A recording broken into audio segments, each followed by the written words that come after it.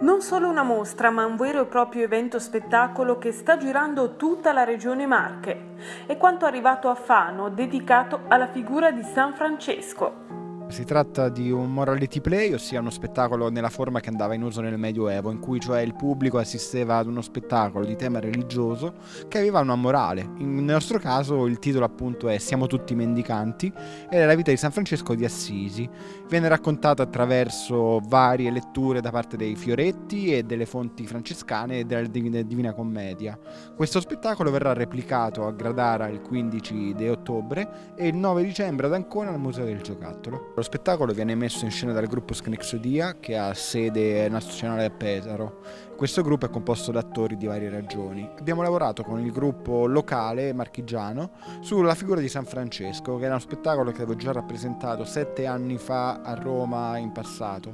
Mi è interessato molto perché la figura del santo è sempre vista nella visione di Zeffirelli, di Forza Venite Gente, come un giullare, una figura sopra le righe, portata avanti con questo tono eh, molto spensierato, mentre in realtà dalle fonti storiche che appunto prendiamo in mano, apriamo i libri, vediamo chi è San Francesco, ne emerge una figura che già in partenza aveva fatto il suo percorso e quindi è su quello che mettiamo il nostro focus.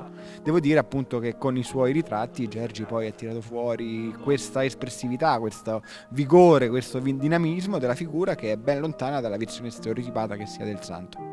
Unë prita me shokën si ftesën e miku tonë, regjisorit Luca. Ho aspettato con molto piacere l'invito dell'amico regista Luca per questa collaborazione.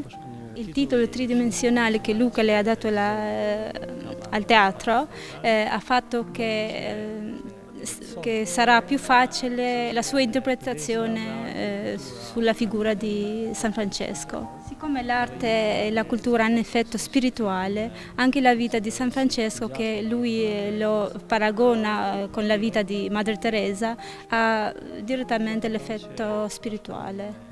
Luca ha anche allestito la mostra ha una grande possibilità di, di vedere bene arte. Oggi questa bella mostra di George Cola che si inaugura questa sera è a carattere religioso perché appunto oggi è anche una festa molto importante, la festa di San Francesco.